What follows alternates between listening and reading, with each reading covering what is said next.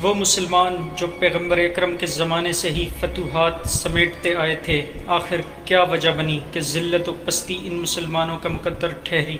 आखिर वह कौन सी ऐसी गलती थी जो आज भी हमारे जहनों से महव है? एक फतवा। जी हाँ वो एक फतवा था।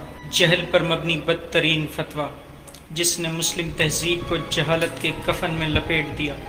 हुआ कुछ यूँ कि 1455 में जर्मनी के एक सुनार गौतम बर्ग ने प्रिंटिंग मशीन ईजाद की। उस वक्त मुस्लिम तहजीब तारीखी अरूज पर थी।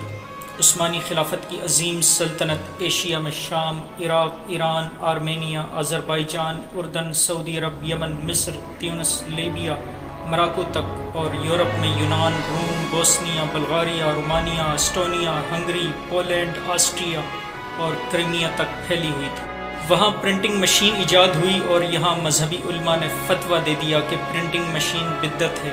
इस पर कुरान और इस्लामी किताबों का छापना ही हराम है। बस फतवे का आना था कि उस्मानी खलीफा सुल्तान सलीम अव्वल ने बग़ैर सोचे समझे उल्मा की अंधी तकलीद करते हुए प्रिंटिंग मशीन के इस्तेमाल पर मौत की सज़ा का फरमान जारी कर दिया। मुस्लिम ममालिक पर यह पाबंदी तीन सौ बासठ साल बरकरार रही।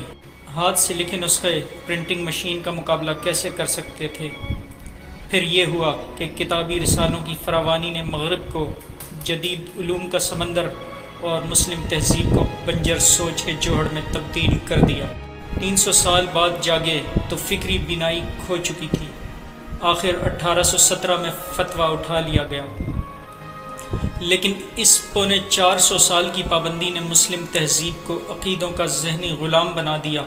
और अज खुद सोचने की सलाहियत से भी महरूम कर दिया। ये फासला आज तक न सिर्फ़ बरकरार है, बल्कि मज़ीद बढ़ता ही चला जा रहा है। मकाम हैरत है कि मुसलमानों को इस तहजीबी ज़िया पर मलाल भी नहीं, और न ही ये तारीख़ निसाब में पढ़ाई जाती है कि नई नस्ल सबके गलतियों से सबक सीखे। इस तरह की मजीद वीडियोस देखने के लिए वीडियो को लाइक कर दें, चैनल को सब्सक्राइब कर दें और घंटी का बटन दबा दें।